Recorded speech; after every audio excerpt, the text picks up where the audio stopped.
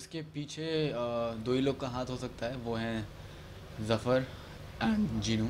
लेकिन उससे बड़ी बात यह है कि जो मुझे अब तक ख़त भेज रहा था कि मैं वो जानता है वो कौन है वो बंदा मुझे मिल चुका है और मैं अभी और वो बंदा मुझे मिल चुका है और वही मुझे बताता है ये सारी कहानी। कौन है वो बंदा उसके लिए आपको शो देखना पड़ेगा। वेल well, ये इसके लिए भी आपको शो देखना पड़ेगा ज़फ़र ने ऐसा क्यों किया बिकॉज़ अला अली भी उसको फिगर आउट करने की कोशिश कर रहा है कि ज़फ़र ऐसा क्यों कर रहा है और वो क्या कर रहा है। आपके जो चुलबुल चाचा हैं बुलबुल चाचा सॉरी तो आपने उनको कहाँ भेजा? है uh, मैंने उनको एक सेफ़ जगह भेजा है क्योंकि वहाँ पे बहुत डेंजर था इसलिए। तो क्या आप यास्मीन को वापस ले आएँगे?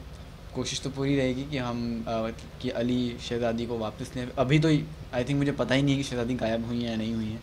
वो भी हम आगे शूट करेंगे तो आप मुझे बता रही हैं। बट उसके लिए आप लोग शो देखिए और शो बहुत इंटरेस्टिंग है बहुत मज़ा आ रहा है। आई थिंक आप लोग को मज़ा आएगा भी शो देख के। तो इस तरह देखते रहिए और ढेर सारा प्यार देते रहिए।